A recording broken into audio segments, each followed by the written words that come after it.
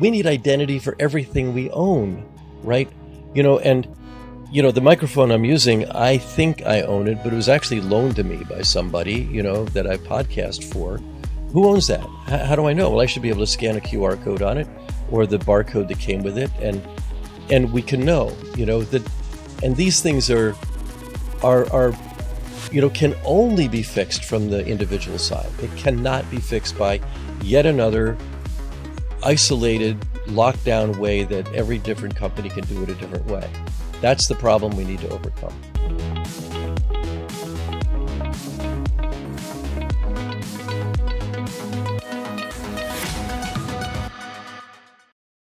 Hey guys, welcome to another episode of Frontier Talk, the world's first podcast on decentralized identity.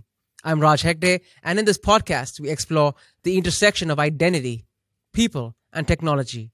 As you can see, I'm beaming with excitement today because my guest on the pod is someone I've been wanting to speak with for a long time.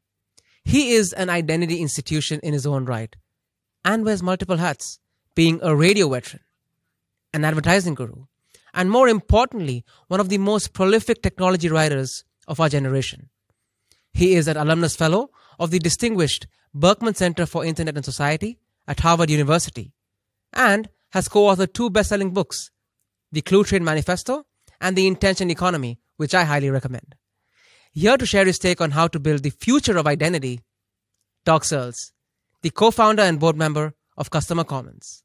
Doc, it's great to have you on board. Thank you. It's, I'm, I'm flattered. It's fun to be here. Um, I'd like to start this conversation off by getting your thoughts on the state of identity as we know it today. What are the problems of the status quo? It's interesting. I mean, it's like what's the state of civilization today? You know, it's not going to be the same later, and it's been the same all along in other ways. Um, on the one hand, if you told me 20 years ago that um, I'd still be caring about this 20 years from now and looking forward to decentralized identity, um, when I thought it was the only possible solution way back when, and um, but I'm actually quite encouraged right now. I, I, see an enormous amount of activity going on around SSI which stands or stood originally for self-sovereign identity. It's not. I know a lot of people, especially in Europe, seem to have a problem with the word sovereign. It has a number of older meanings. It has some political meanings today, but um, uh, I think in the sense that every individual uh, should be in charge of how they uh, how they identify themselves uh, in a in a minimal way for as needed purposes. I think that's been an ideal all along. That we don't you know, what we call ourselves and the purposes for which we do. We, in the physical world, we solved this a long time ago. You know, I mean, our parents or our tribes or whatever gave us a name. We may, may we may use it in some cases, may not. Um, and uh, if we're standing in line at the store and if your name is Michael and it says a common name, you may call yourself, um, you know, Clive instead, and and that that'll do. And we haven't replicated that online at all. It's like, it's very similar to privacy. We have not worked that out either. And they're probably tied in some ways, uh, I think. But the, the goal has always been for all of us to have individual agency, I think, and not just to always solve these problems from the corporate side. And that's still a challenge. So that's sort of the state. As an antidote to this problem, um, you talk vividly about this concept called VRM, mm-hmm. Vendor Relationship Management in your book, The Intention Economy. Could you perhaps talk us through Project VRM and how does decentralized identity fit into the goals of the project? Yeah, the the project is what I started at the Berkman Klein Center at uh, at Harvard in 2006. It was a one year project, like all projects there were one year projects. It's now going into its 15th year or is approaching starting. I'm losing count at this point. Um, it's a bit like identity that way. The original idea was that um, uh, VRM stood for Vendor Relationship Management. It's actually not a, a name that we gave it. It's one that uh, appeared on a podcast. Uh, a guy named Mike Vizard came up with it saying, You're talking about vendor relationship management. And it's the customer side counterpart of customer relationship management, which at the time was an $18 billion business and is probably a $100 billion business now, entirely on the business side, not at all on our side. Um, every CRM system wants to get scale across all of its customers, but all of them are different and they all require different login and password, different customer records, all the rest of it. We want scale on our side. We want scale so um, we can um, uh, change our last name or our uh, email address or our phone number or uh, any number of other things one time for every company we deal with. We should have one shopping cart we could take from site to site. Um, those are ideals that we came up with way back when. We still have not realized them, which is why it's now in its 16th year or whatever it is. So, but we have hundreds of people on the list and we're working on it. Awesome. Um, and as you might know, um, today there is a deep dysfunction in the way institutions manage our data. Um, what do you think are some of the top priorities for anyone looking to build decentralized identity solutions? I think it's working for the individual. I think it's the only answer. I think that we're none of the approaches that are, are hot right now, including and especially SSI, um, none of them are focusing hi- highly enough. I think on giving us each of us the tools that we need. Um, we we should be able to present verifiable credentials to whoever needs them on an as needed and minimally disclosing basis where we can trust what happens at the other end. Uh, in in design, SSI does that, but I have not yet seen what I call the invention that mothers necessity. You know, I mean, the first time you saw an iPhone or an Android, you you said, "I have to have that."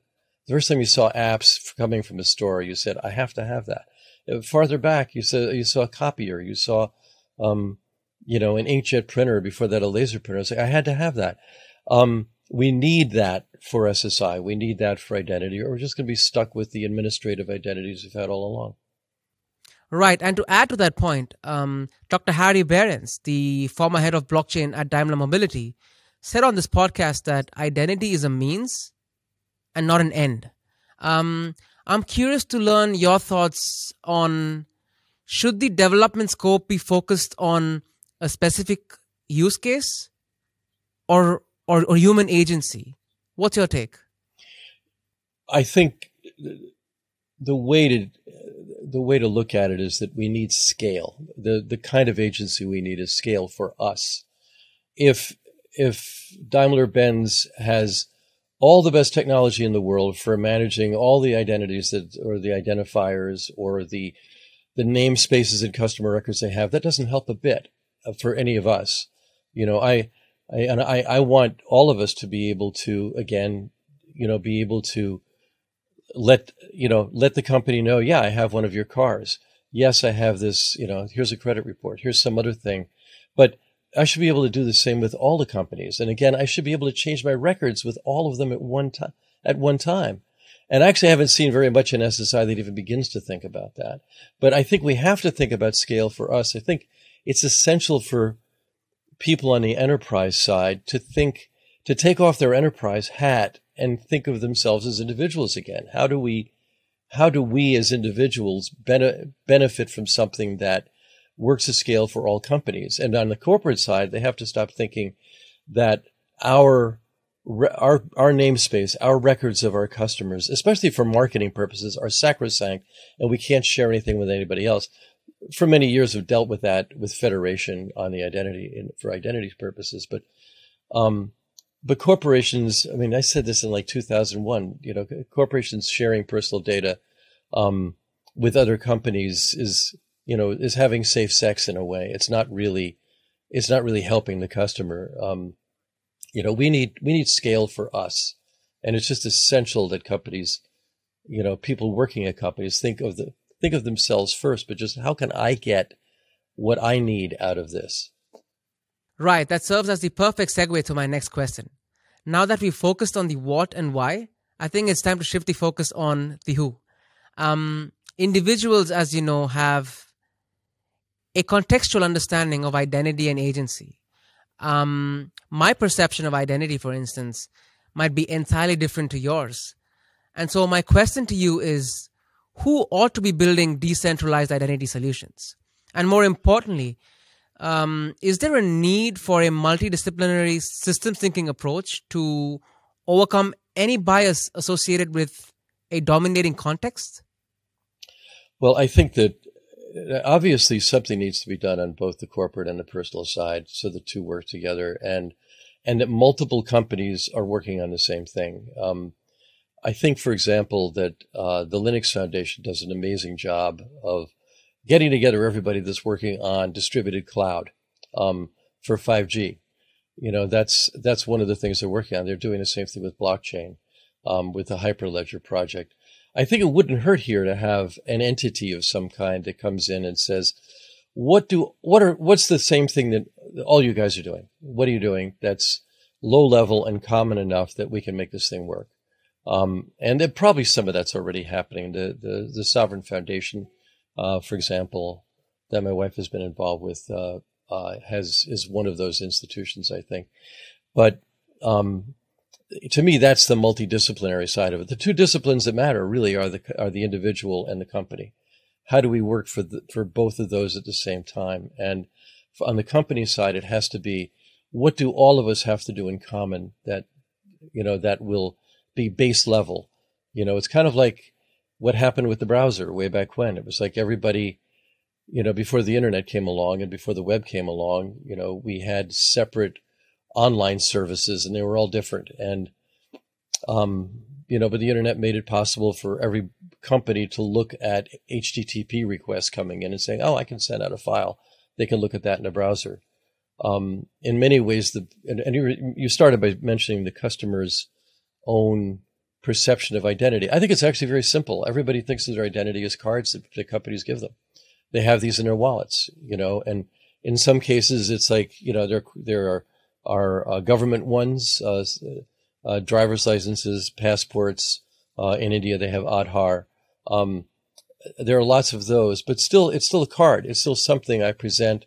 And now they're beginning to think, well, you know what? I can also do something with a QR code that somebody shows me and my phone is is acting as my agent or my proxy. But in many cases, I think it's not clear to people that a QR code is for anything other than getting your menu or something like that, you know, or registering something.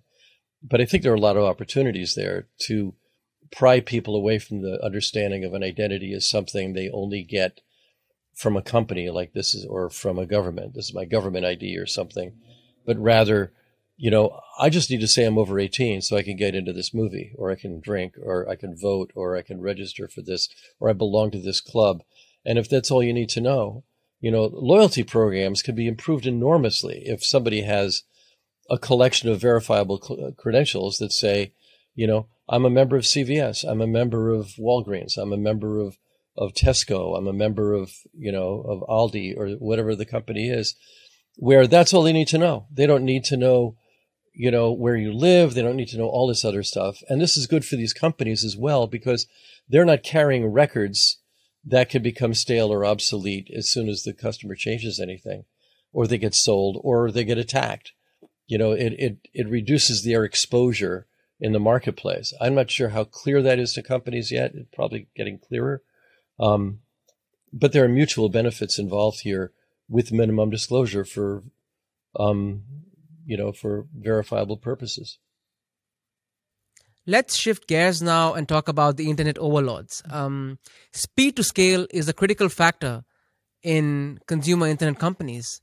Um, and as a result, product managers in the Valley tend to build products on the assumption that their users are A, lazy, and B, not very smart.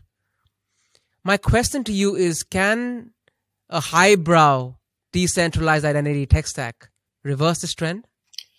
It can if the UI just wants to be used. I, I mean, I think, um, and I don't know what that UI would be. I think obviously it has to be accessible through your phone. Think uh, phones have become uh, extensions of people. Um, Marshall McLuhan says that all new technologies are extensions of our our bodily selves. Our bicycle is an extension of our feet. You know, our glasses are extensions of our eyes. The when you're driving a car, you, you feel like your body is in that car. It's an embodied thing. Our phones are like that now. I when I ride I ride in subways in New York now, and it's rare that I don't see everybody looking at their phone or plugged into their phone and listening to something. These things have become as much a part of us as our clothes. So I think for now, at this moment in history, it has to work with your with your personal devices, uh, your portable personal devices. But but the the UI has to be so obvious and necessary that it's on the front page. It, it's not something you look up on your phone and you have on page two, three, or four of of your of your apps. It has to be on the front page of your apps. What is that? You know, and nobody's invented that yet, and we need that invented. And why should large companies be incentivized to do so? What is the business value of decentralized identity? I, th- I think there's enormous business value in it because it, it, it, again, it's because you've reduced exposure. Um, you're putting the customer, you're putting the individual in charge of of data that you need to know. You know, did they get married and change their last name? Did they change their address? You know, I've read that the uh, the Royal Mail in the UK loses like a billion pounds a year because people change their addresses and they don't know about it, right? But if a person is able to change their address one time for everybody they deal with, um, and then have a simple way to to make themselves known, um, you know, for what Kim Cameron, uh, formerly Microsoft, called a constrained purpose, right? Minimum disclosure for constrained purposes, justifiable parties. These were his laws of identity he wrote in 2004, but they apply today, especially. And I think actually only SSI can make that happen. But the, the business incentive is there, there's less exposure, there's less loss, there's less friction in the marketplace. I mean, certainly there's friction in your in your in your life when you carry multiple keys in your pocket and many cards in your wallet and and if your wallet gets stolen or whatever, I mean that's an even worse situation. I think we're we're moving toward the times when pretty much everything that you need to present on a verifiable basis in the world is going to be on your mobile device and that you should be able to survive its loss or, uh, or theft and and I think, you know, Apple and Google are working on that pretty hard. And I think that they're making some progress with that. But for all the apps that run on that, I think that identity is a monstrously huge opportunity. But companies can't get there if they're busy thinking how only they can win because it has to be a win for everybody. Like the, the internet was a win for everybody. The, the, you know, SMS, all these things were, were wins for everybody. They need to think about what's the win for everybody. Right. Machine learning and AI enables mobile just like the browser unlocked the true potential of the internet, or at least we're on that way. Um, according to you, what needs to be done to make decentralized identity a reality? I think we need our own ML and our own AI. Um, I think if the only AI we have is what Google or Apple or anybody else gives to us, we're, we're lost uh, in the long run. I think I think we need something we don't have right now, which is a really good collection of our own data. Uh, everything on our calendar, everything on our contacts, all of our belongings, all of our belongings. You know, we buy something, we get a receipt for that. That should be normalized in some way. Every receipt I get should be in a format where I can possess that. And I know I just bought this Focusrite. I'm talking to you through, right? I have a receipt from that company that looks unlike every other receipt. I can't really scan it. I can't really make full sense of it. Um, Amazon does a really good job of telling me when things were shipped and what was shipped, but not what I paid for exactly. You know, my credit card company doesn't want its competitors to scrape, you know, the, the text if they send me a PDF or something. This is all very broken. I think the, you know, and, and, and it can be fixed if we realize the customer, the individual needs to be in charge of this data and they can make better decisions. So if I have an AI that's looking at all, I'm looking at my bookshelves over here. What are all the books that I own? I should have a library of those.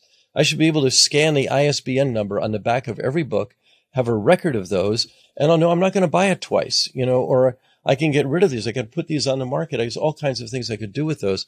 I can insure my belongings, you know, and, and, and, you know, where this, where this goes to identity is we need identity for everything we own, right? You know, and you know, the microphone I'm using, I think I own it, but it was actually loaned to me by somebody, you know, that I podcast for. Who owns that? How, how do I know? Well, I should be able to scan a QR code on it or the barcode that came with it. And, and we can know, you know, that, and these things are, are, are you know, can only be fixed from the individual side. They cannot be fixed by yet another isolated lockdown way that every different company can do it a different way. That's the problem we need to overcome. Mm-hmm. Right. Um, and to add to that, you've blogged about this concept called PICOs, uh, if I'm not wrong, uh, coined by or PICOs. Doesn't matter. There's no there's no orthodox pronunciation. Right. Right. Yeah, it's a term coined by by Phil Windley. Um, yeah, yeah. Could you elaborate more on on this concept? Yeah, it's called a persistent compute object, and and the idea is that as you know, as I just said, every, every that everything you own or you can identify can have it and its own unique identifier. But it's not just an identifier; it should be a programmable um, instance on the internet. It should have its own um, node, its own little cloud that's programmable and uh, and and made fully useful. So, for example, with with this Focusrite that I just got, this for people who don't know what a Focusrite is, is the company that makes the device that I'm talking through right now. It's very useful for podcasts, and um, and they're a leading company in this, and they just gave me this very difficult thing to go through that delayed our conversation today because I just bought it.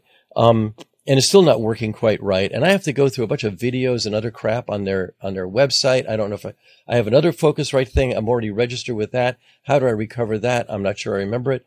That should be in a database of mine. But I should be able to give this thing either it comes with a Pico, a persistent compute object of its own, or I create one for it. And through that one, I can communicate back to the company everything I've done with it.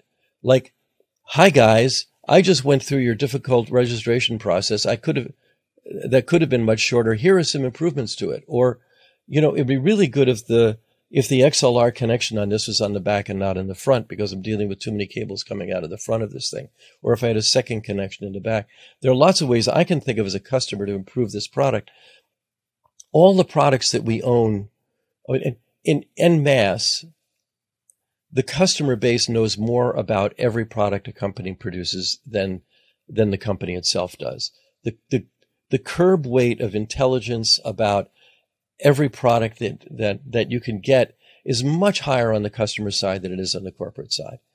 And it'd be it'd be great if we had our own way to on our, that's standardized on our part to communicate not only to remember everything that we own or that we've rented and by the way every subscription that we have. We're moving into a subscription economy here right now. You know, all of us here in the U.S., you know, not all of us. Do we have a subscription to Hulu and Roku and Apple and Amazon and all these other ones all at the same time? When do they come due? How do they trick us into to staying on after the cheap thing at first? Why am I paying so much to this guy? There should be Picos for all of those as well, where I have a way of remembering when this thing comes due and when they're going to charge me more downstream and also killing that whole system. That's a that's a that's a screw the customer system that is very common in marketing and has been common in marketing from way back in the physical age before we had the internet and it's lingered in it's a relic of the industrial age that we can fix now if we actually own our things and own and and can process the data that we have about everything in our lives and every company is busy thinking of ways to improve their lives as companies, but not about how to improve our lives as customers across all the companies we deal with. Picos are one way of doing that. SSI is another way of doing that. Um, but I think we've got a long way to go. The pandemic has brought about significant changes, not just on an individual level, but also on a business level. Um, has the pandemic accelerated the development of decentralized identity initiatives? What's your take? It has to the degree that we have become decentralized as workers. Um, many of us are working at home now, um, and um, uh, and I know uh, from talking to our, our son who's 24 and works in staffing, for that matter, that's his that's his profession. Um, that in his generation now, it's considered bad form for a company to require people to come into work you know, Apple had a revolt with it. I mean, you never hear about that from Apple, you know, but people don't want to come into their beautiful new building as much as they used to because they'd rather work at home. They're working on their computers. What do you, it's nice to be around other people it's nice to get free food and stuff like that if you're in a wealthy company like an Apple or a Google or whatever. But, um, if you're working in a non-private cubicle in a hive in a company, that's not as attractive as it used to be. Um, I think so. We're becoming decentralized to begin with. How, I think this cannot help but have an effect on what goes on with identity. What it's done specifically, I don't know. I think I'm sure that it has changed what programming is done, what thinking out loud is being done, what planning is being done at different companies um, on the work that they're doing. But I think it'll also be probably years or decades before we see the full effect of what the pandemic has done. I think for some things it has moved things forward 10 years or more.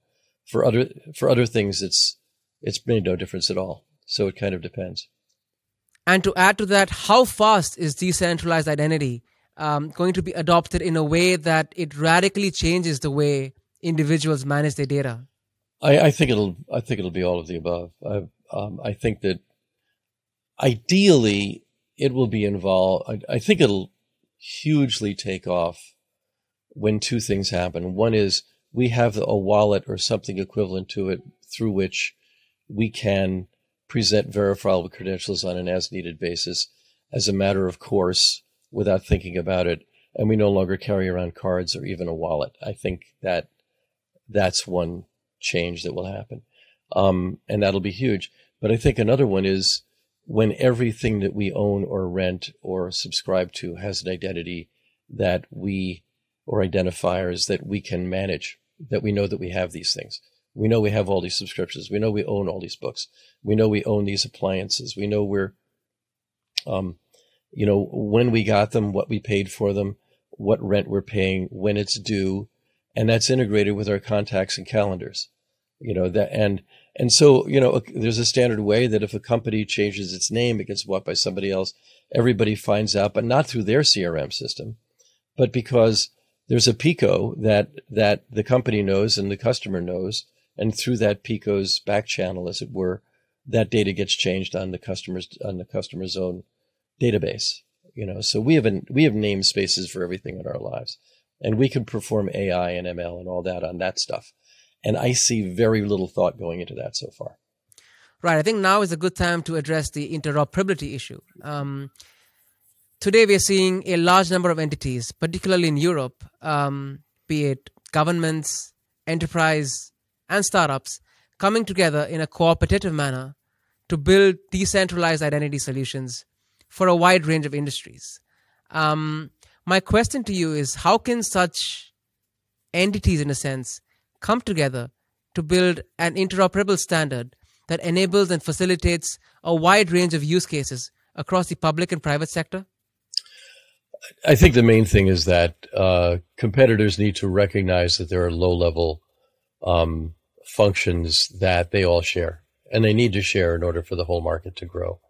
Um, and that that might involve creating a consortium. It might involve simply cooperation on GitHub between uh, developers. It may involve um, going to the IEEE or the ITF or some other um, or the W3C or any one of the standards organizations and and creating a standard there. Uh, but the the main thing is that uh, it's a, it's an, it's essential for every company operating in this space to understand that un, unless that unless you have something that's held in common at the at at, at a base level, I wouldn't even call it a low level, at a base level, uh, where everybody gets along because they all you know it's helpful.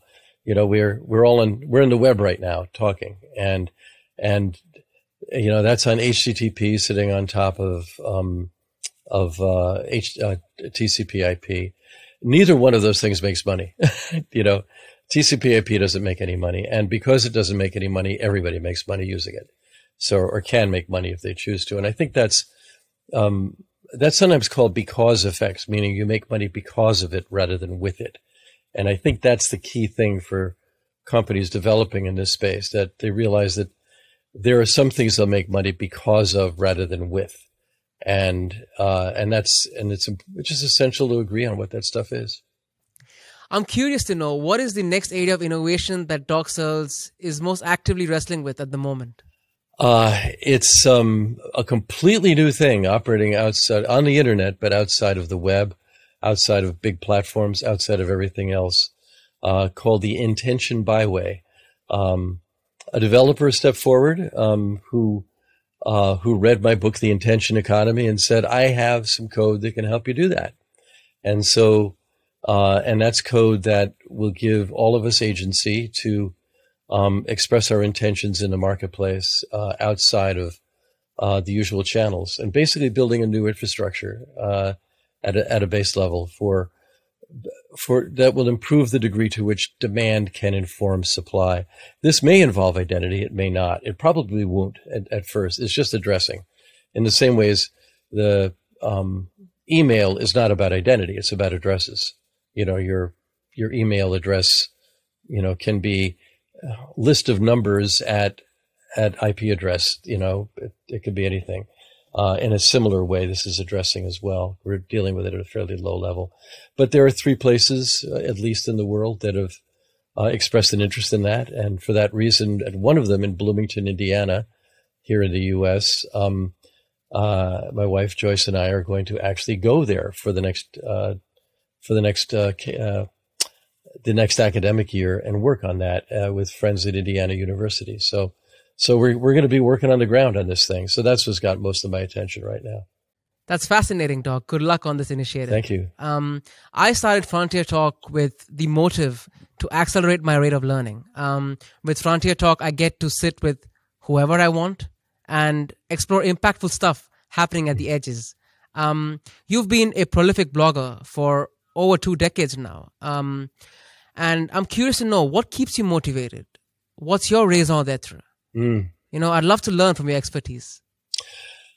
To, to me, what what keeps me going is the work. It's not it's not what I write. I my work was writing for most of my life, actually, and um, although the long time that I was involved in marketing and broadcasting and other things like that involved other kinds of work, but but right now I just want to see um, tools and services come into the world that help um, individuals and the companies and the organizations that serve them work better together.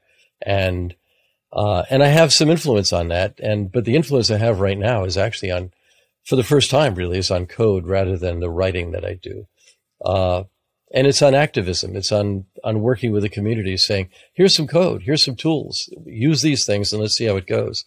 Uh, that's a new thing for me, actually. Uh, I've helped with that in a, a, promotional way in the past for other parties, but not on my own. Um, so that's a new thing. As for what's happening in journalism in general, which includes blogging and includes social media and everything else, that is way up in the air right now. I mean, everybody can be a journalist now, and um, everybody with a phone can perform journalistic functions. This has utterly changed the way everything's being done.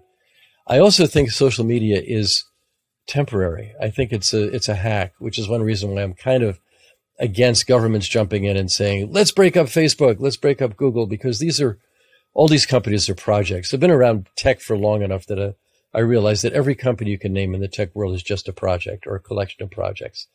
IBM ro- ruled the world for many years, and AT&T here in the U.S. and the PTTs in Europe and elsewhere in the world ruled telephony for a long time. And those are all out the window. They're all doing different things now. It's there's no the assumption that anybody is in charge at the moment is, I think, illusory and temporary. But tech moves too fast, and also, and I think is an important thing um, for everybody is that this is early. We've we've had the internet as we know it now only since 1995. That's when the commercial web showed up, um, and we kind of standardized on browsers and websites and that's like 25, 26 years. That's not much time at all. We're going to be digital for the rest of time, I think. As a species, we're going to be digital as well as analog, as well as physical beings. And we have a long way to go and many, many changes to go through. And so, and, and I'm very optimistic about most of them. I, there are things you could be pessimistic about, but I tend to be an optimist because optimists get more done. So. Right. And could you perhaps elaborate on how the internet realized the dreams of early techies? By coming into existence. I, I, I saw the internet coming in the 80s and envied the ability of people in universities and large companies uh, and in government to be able to use this TCP IP thing and the things you could do on it, which at the time were, I know, Finger and Gopher and, you know, uh, IRCs and stuff like that. Um, and it wasn't really until the mid 90s that I was able to get on, get my own domain name and the rest of it. But to me, I mean, if you look at a movie like that's about the future that's set in the past, so like 2001 is a good example, but a better one is Blade Runner. Um, Blade Runner starts out with the on the on the title page it says Los Angeles, November 2019, right? And it's a future with flying cars and off-world colonies and human replicants, but they still have payphones and old-fashioned looking computers, right? And but if you went back to then and said, and oh, by the way, only one of the 19 um, companies that got product placements in that, that was a pioneering movie for product placement in, in, uh, in, in, um, uh, in movies. Only one of them, I think it's IBM. Maybe it's AT&T still exists, at least in name, but there are, there, there are tape companies and other Atari and others that are long gone. And that's a lesson. But if you went back to then, if you went back to 1981 and whenever it was that that movie was filmed and said, you know, there's going to be a future where everybody in the world at no cost is zero distance apart and can look at each other and talk to each other on little rectangles that they carry around in their pockets or that they put on their desks. Um, I, it would be a miracle on the order of loaves and fish. I mean, it, it was unthinkable at the time. And the internet made it thinkable, but it didn't happen you know, it was thought up in the 70s and 80s, but it really didn't happen until the mid 90s in a serious way. And it really didn't become portable until, um, until smartphones with uh, app stores came along in 2008. So, and that's only 13 years ago. That's not very long ago at all. Um, I, am just, I, I'm, I'm sort of blown away by how much the internet became exactly what I wanted it to be. I'm disappointed that, you know, I co-wrote a book called the Cluetrain Manifesto in 1999, came out in 2000. That was regarded as probably the alpha cyber utopian book. And, um, and it was cyber utopian because we, the, the opening clue in it said, we are not seats or eyeballs or end users or consumers we are human beings and our reach exceeds your grasp. Deal with it.